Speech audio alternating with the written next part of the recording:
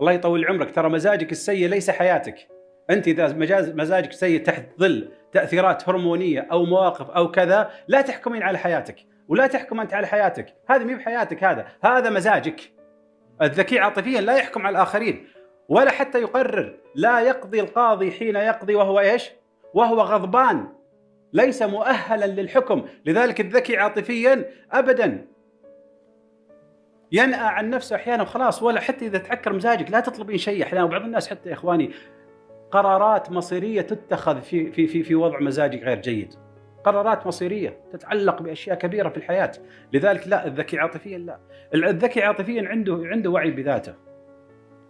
للأسف الآن وهذه لعل إن شاء الله أستفيض فيها في الكلام، للأسف البعض يا إخوان يعرف عن الناس كل شيء.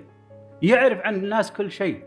وبعض الناس الله يوفقه لا يرفع له جفن ولا تغمض له عين حتى يعرف فلان وين راح. والله وين راحوا؟ وش فعلوا؟ سافروا ولا ما سافروا؟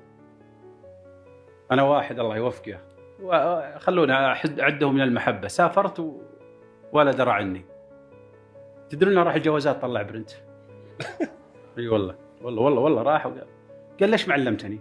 الوالد أنت الوالدة أنا حتى حتى جزء من إخواني ما يدري يعني. هم إخواني. اي لذلك صدق يا إخواني أعطيكم حاجة جدا في الذكاء العاطفي ترى قيمه عالية جدا.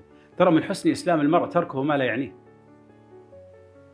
ومن علامة كرامة الإنسان وقوة الإنسان وعمق اهتمامات الإنسان أنه يهتم بنفسه ولا له علاقة بالآخرين وين راح وين جو وش فعل وش كذا وكل الاهتمامات بالآخرين. يعطلك شوف شوف الوقت محدود وقتنا محدود وعقلنا محدود. إذا لم يملأ بالأشياء الجيدة سيملأ بالأشياء السيئة. لذلك الذكي عاطفيا لا لا لا مهتم بنفسه وعنده وعي بذاته عنده وعي بذاته.